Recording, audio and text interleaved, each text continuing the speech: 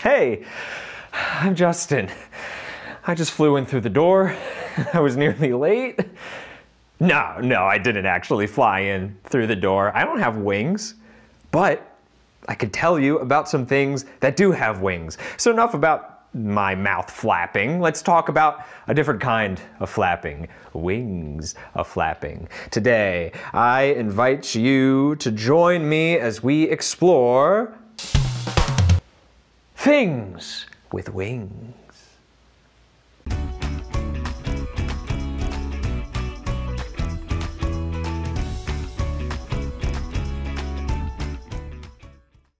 Birds have wings. They use them to fly up, up, and up into the sky.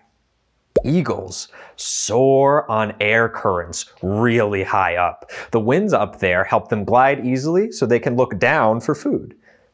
Tiny hummingbirds beat their wings really, really fast. They can zip and zoom and dart around and even hover in place if they beat their wings even faster. Owls hunt at night, and their wings help them, not just because they let the owl fly, but because they move silently.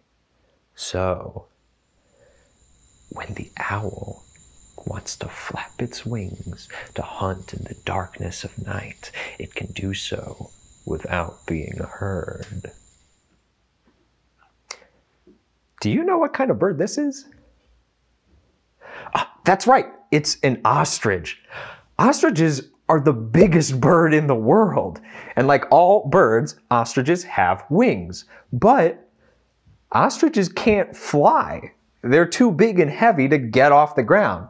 But don't worry, they make up for it because they can run really fast with those big long legs. Have you ever seen a penguin fly? Like all birds, penguins have wings, but penguins use their wings to fly underwater.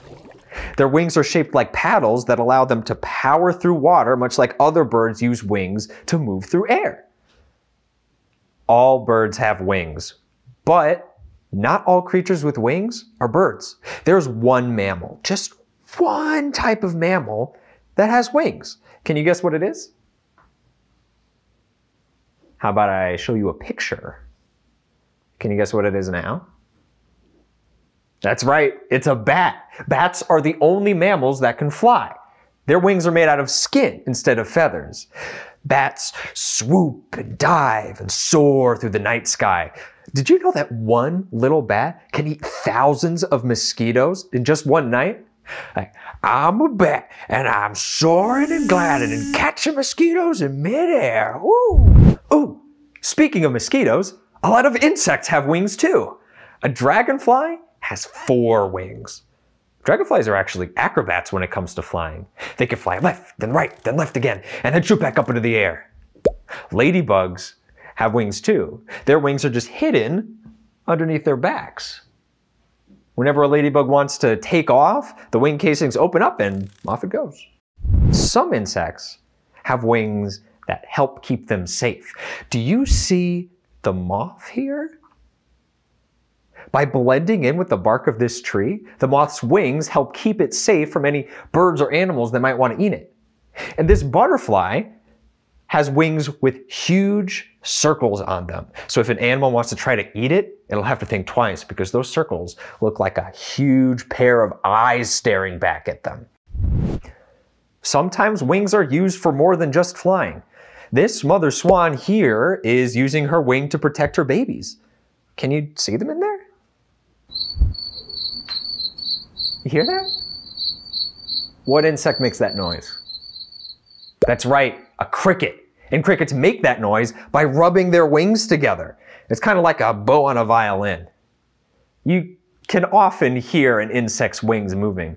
The bzzz of a bumblebee or the annoying bzzz of a fly flying around your head are caused by their wings. Their wings move so fast that they make a buzzing noise. People have always wanted to fly. Somehow, with some contraption that could get us up into the air. We've tried this, and this, and even this, And now we have airplanes that can carry us up and take us far into the sky, over the clouds, looking down at the earth below. So now you know so much more about things with wings. I had so much fun with you today, but I gotta fly off.